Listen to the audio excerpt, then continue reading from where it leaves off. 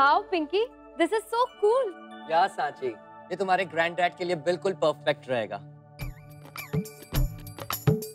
ये मेरे लिए? अरे thanks thanks but no thanks हाँ मैं तो भैया अपना वो एथनिक कुर्ता पजामा ही पहनूँगा बस। ये पहनकर तो मैं जोकर लगूँगा जोकर। जोकर? और नहीं तो क्या? देखो पिंकू बेटा पिंकी पिंकी नॉट पिंकू अ, ये कैसा नाम है भाई ऐसे नाम तो लड़कियों के होते हैं ना? करेक्ट ऐसे नाम लड़कियों के होते हैं बट यू नो ग्रैंडपा मैं बराबरी में बिलीव करता हूँ। और वैसे भी आज के जमाने की डिमांड है। लड़का हो या लड़की उनमें कोई फ़र्क नहीं होना चाहिए इसलिए अपना नाम मैंने पिंकी रख लिया। बराबरी वाली बात तो सही है पर ये नाम बाबा जी नाम को छोड़िए आप। काम देखिए उसका। मुझे लगता है ये कुर्ता आपके ऊपर बहुत अच्छा लगेगा। एक बार ट्राई तो करके देखो। अच्छा तुझे पसंद है? तो तू पहन ले। ईरा और मीनू की बहन लगेगा। आ, लगेगी। यार क्या कंफ्यूजन है? लगेगा लगेगी। दादाजी कोई कंफ्यूजन नहीं है बिलीव मी आप इसको एक बार ट्राई तो करिए एंड ट्रस्ट मी यहाँ पे बहुत सूट करेगा बीट माय वर्ड्स अरे बेटा ये जो तुमने पहन रखा है ना ये शर्ट है टी शर्ट है कौन सी शर्ट है पीछे टोपी भी है ये भी समझ से बाहर है। और जूते जूते देखो दोनों पाँव में अलग अलग जूते हैं। Trust I can trust you Pinky वो वाले ड्रेसेस दिखाओ ना जो तुमने मेरे लिए बनवाए हैं Oh yeah. Uh, try this. This is such a beautiful dress. Wow this is so nice And this one will fit you. So nice in it. Awesome this is so beautiful है ना mom मैं इसे try करके आती हूँ कौन खोज कर लाया है इस नमूने को माही और कौन? हाँ, वही कर सकता है ऐसे अनोखे काम। आने दो उसे। इसी खबर लूँगा ना। कैसी लग रही हूँ मैं?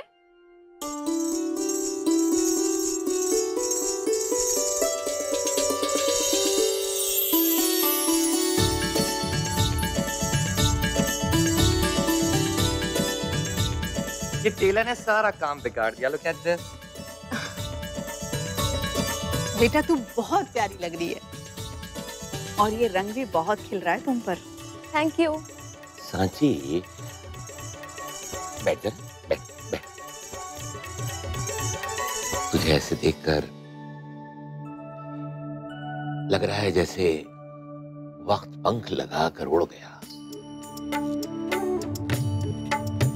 जब तू पैदा हुई थी तो हम सबको लगा था कि हमें प्यारी सी परी मिल गई। कभी तू कंधों पर चढ़कर घूमती, कभी उंगली पकड़कर चलती। और फिर धीरे धीरे वो दिन आ गया, जब तू पढ़ाई के लिए हॉस्टल चली गई। और आज तुझे घर से विदा करने का वक्त आ गया।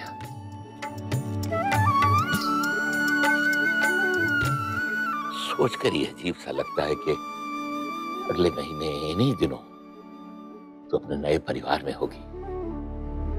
That's very sweet of you, Dattu लेकिन आप लोगों की जगह और कोई नहीं ले सकता।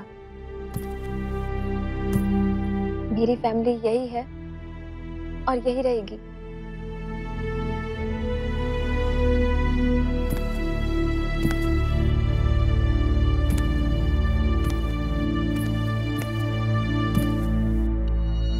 आई I मीन mean, बड़ी हवेली के सभी लोगों को बहुत रिस्पेक्ट करूँगी मैं। बहुत प्यार दूँगी। लेकिन आप लोगों को भूल थोड़े ना सकती हूँ।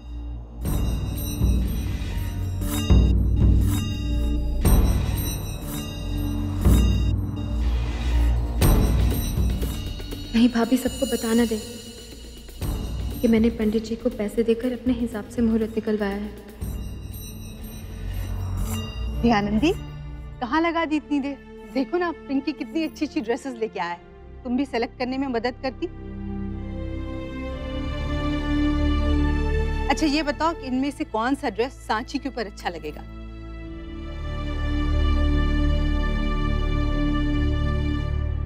मैंने मुहूर्त बदलवाए क्योंकि मैं इन बातों में जरा भी यकीन नहीं करती। ग्रहों और तारों के डायग्राम्स देखकर, कुछ भी उल्टी सीधी कैलकुलेशंस करके, कोई मुझे ये बताए कि मुझे कब शादी करनी चाहिए और कब नहीं? और मैं सर झुकाकर उसकी बात मान? लूँ मैं गाँव और कस्बों में पली बड़ी लड़की नहीं हूँ भाभी। माँ, सांची को बताने की क्या ज़रूरत है? ये खुद समझदार है। इसके लिए क्या अच्छा है, क्या नहीं है, ये सांची से ज़्यादा और किसे मालूम होगा? दुल्हन को ही तय करने दीजिए कि उसे क्या चाहिए, है ना?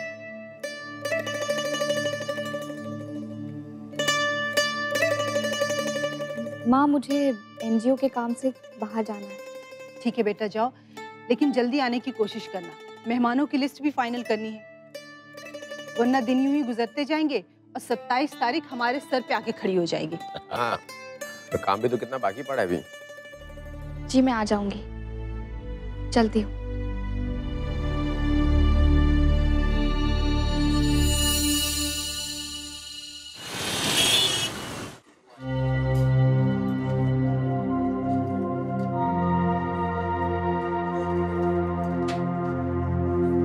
Lunch time madam. चलो। अभी पेशेंट के साथ हूँ बाद में खाऊँगी।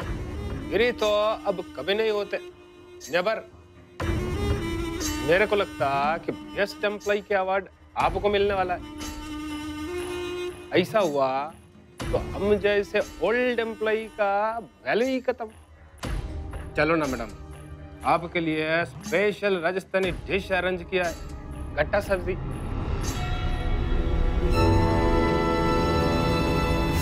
मैंने कहा ना, मैं बाद में खाऊँगी। आप खा लीजिए।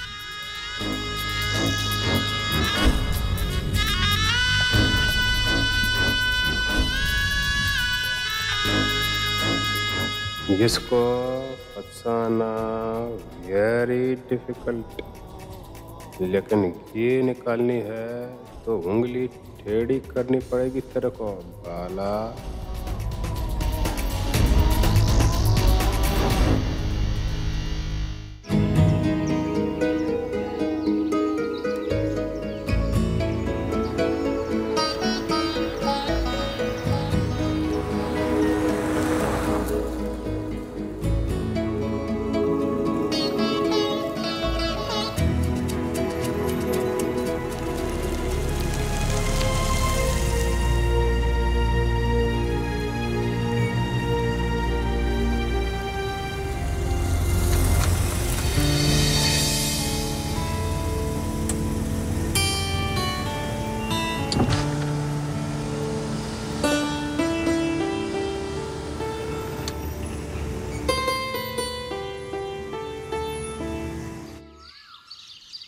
मेरी एक इम्पोर्टेंट मीटिंग थी।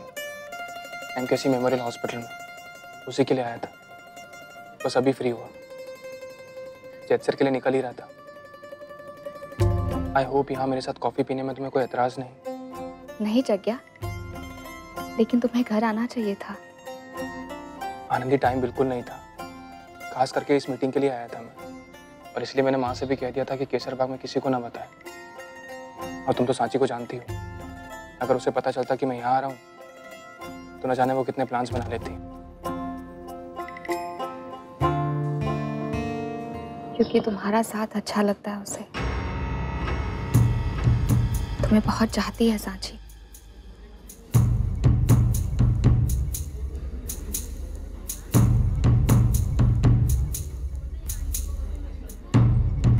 Two coffee please okay ब्याह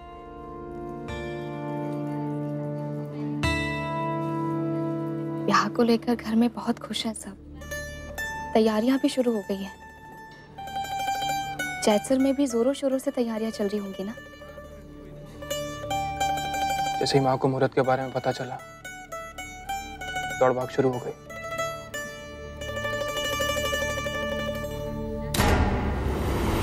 चाची बिटिया ने बहुत जीत की थी आप सबसे कहने के लिए। इस महीने की जो भी तारीख का मुहूर्त निकलता है वो शुभ है जग्या इस रिश्ते को लेकर अब भी कोई सवाल नहीं है ना तुम्हारे मन में? मेरा मतलब है कि उस रात छत पर हमारी बात हुई थी। कुछ कड़वी बातें बोल गई थी। अनंती इट्स ओके तुम्हारे पास अपनी खुद की वजह थी। पिछले दिनों जिस तरह का बर्ताव किया मैंने खासतौर से माँ के साथ। तुम नाराज़ थी अपसेट थी। उस वक्त तो मैं तुमसे कुछ नहीं कह पाया। लेकिन अब कहता हूँ, जो मैंने वादे किए हैं, उन्हें मैं निभाऊँगा। किसी को शिकायत का मौका नहीं दूँगा।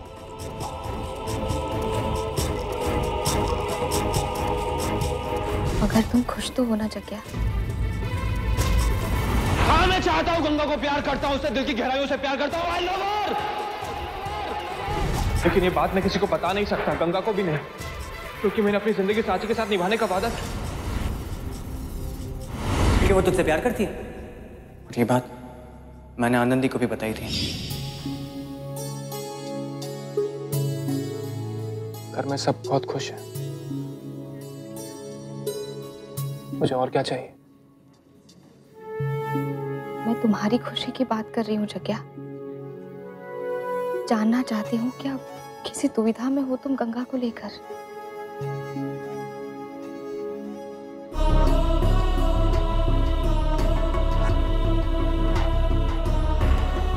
आनंदी कितनी अजीब बात है ना। लाल सिंह को पता था कि गंगा मुझे चाहती है। और ये बात तुम भी जानती थी। ऑब्वियस गंगा को तो पता ही होगा। एक मैं ही था, जिसे इस बारे में कुछ नहीं पता। इस बात की भनक तक नहीं लगी मुझे। सांस ही नहीं हुआ।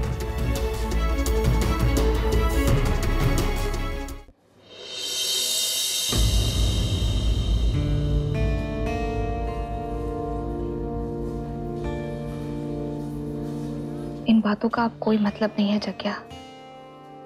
कि किसे क्या पता था और कौन अनजान था।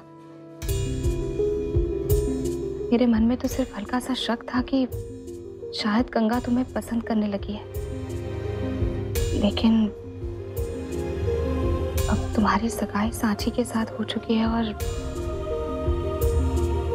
तुम्हें इस बात पर पूरा भरोसा है कि सांची हमारे परिवार के लिए सही है। क्या वो सबके साथ एडजस्ट कर पाएगी।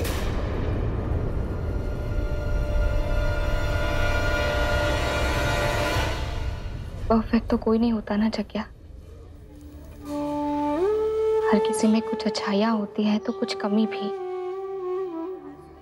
हर ब्याह में सिर्फ़ लड़की को ही नहीं, उसके पति को, पूरे परिवार को थोड़ा बहुत तो एडजस्ट करना ही पड़ता है ना। एक दूसरे की पसंद, नापसंद को ध्यान में रखते हुए खुद को ढालना पड़ता है। ताकि एक छत के नीचे सब सुख शांति से रह सके। सिर्फ़ इतना कहना चाहूँगी जग्या कि सांची पूरी कोशिश कर रही है खुद को बड़ी हवेली के लायक बनाने की। जग्या उसने हमेशा मॉडर्न और वेस्टर्न कपड़े ही पहने हैं। लेकिन सगाई के बाद उसने अपना पहनावा बदल दिया। ताकि अभी से उसे आदत पड़ जाए। कभी एक ग्लास पानी का भी किचन में जाकर खुद ने नहीं लिया। लेकिन आज वो रोज अलग अलग डिशेस बनाने लगी है। जिस लड़की ने कभी उपवास नहीं रखा, उसने तुम्हारे लिए तीज का व्रत रखा।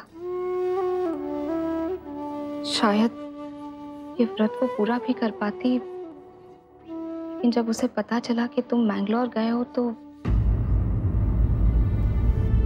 मेरा यकीन करो जग्या, सांची में अगर ज़मीन आसमान का बदलाव आया है तो उसके पीछे सिर्फ़ एक ही कारण है।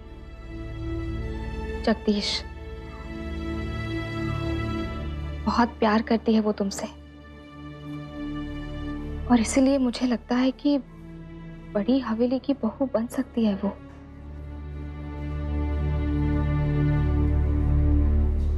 वो बड़ी हवेली की ट्रेडिशनल भाऊ बिना हस्बैंड के रेस्टोरेंट में आना अलाउड नहीं है। प्लीज़ यार मैं दूसरी बहुओं की तरह नहीं हूँ। बस एक बार बड़ी हवेली चली तो जाऊँ। फिर देखना, कैसे बदल देती हूँ मैं वहाँ के सारे रूल।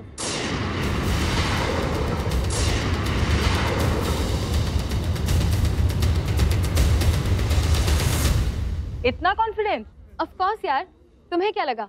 मैं वहाँ जाकर के गाँव की गवार गोरी बन जाऊँगी? नेवर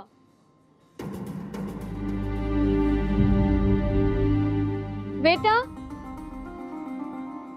सबके लिए पिज्जा एंड सॉफ्ट ड्रिंक्स वैसे सांची तेरे जैसर में ये पिज्जा बर्गर तो मिलेगा नहीं। हाँ यार ये तो है। वहाँ पे तो सिर्फ़ रोटियाँ पराठे और खूब सारे तेल मसाले वाली सब्ज़ियाँ ही मिलेंगी। इसीलिए मैंने सोचा है कि जब तक यहाँ हूँ ढेर सारा अपने पसंद का खाना खाऊँगी।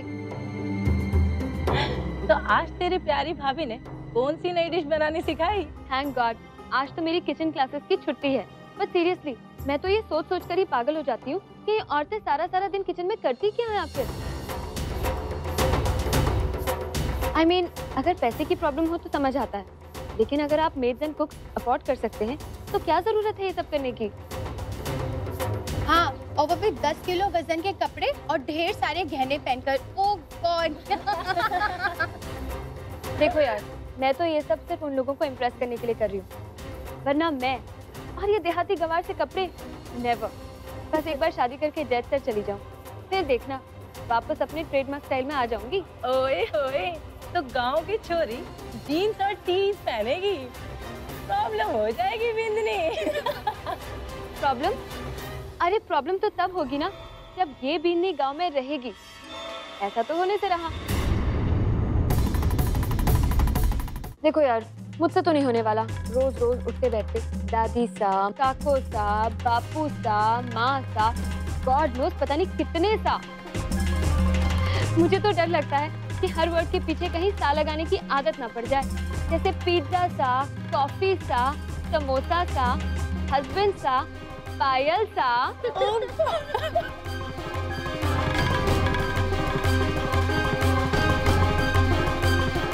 ना बाबा ना, मैं तो गाँव में नहीं रहने वाली। शादी के बाद मेरा सबसे पहला काम होगा जगदीश को कन्विंस करना। कि या तो हम मुंबई में शिफ्ट हो जाएँ या फिर यूएस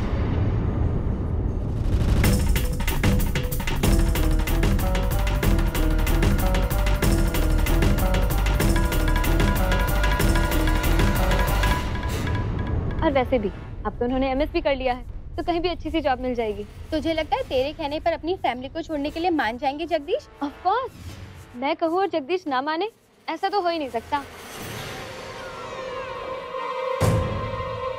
तो फिर तेरी सासू माँ का क्या होगा साथी? उनका तो दिल ही टूट जाएगा। बेचारी कब से वेट कर रही है यार? कब आएगी मेरी बहू? बहू आएगी लेकिन जल्द ही फुर्र भी हो जाएगी। अगर उन्हें ये लगता है कि मैं हर रोज उनके पाँव में तेल लगा करके मालिश करूँगी, जैसे वो अपनी सास की करती है तो प्लीज़ मैं उन लड़कियों में से बिल्कुल नहीं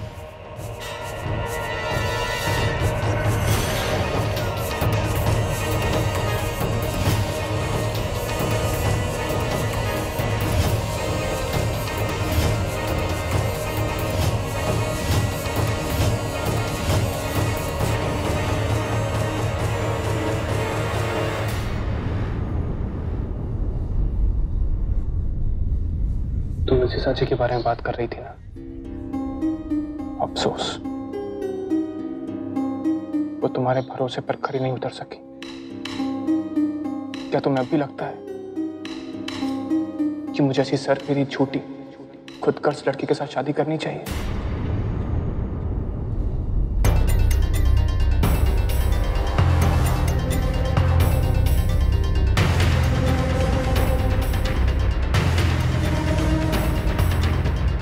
ओके गर्ल्स अपने अपने पिज्जा स्लाइसेस पकड़ो एंड लेट्स स्टार्ट वरना हम लोग मूवी के लिए लेट हो जाएँगे। मुझे मूवी स्टार्टिंग से देखनी है इंटरवल से नहीं। Okay okay? चलो।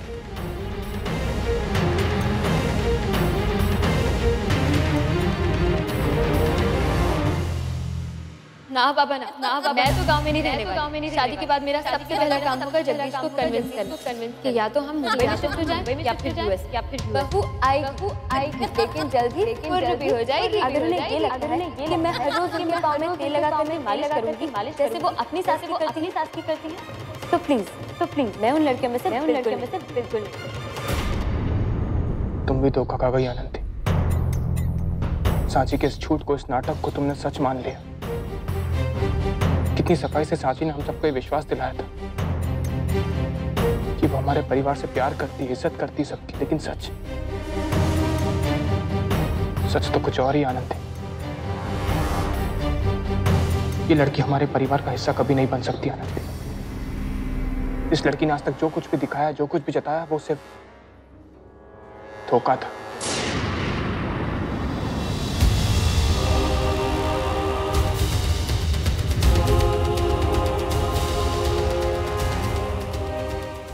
स्वार्थ में अंधा इंसान भीतर के सच को छिपाने के लिए कितने ही मुखौटे पहन ले, परंतु सच तो कहीं भी, किसी भी रूप में प्रकट हो ही जाता है।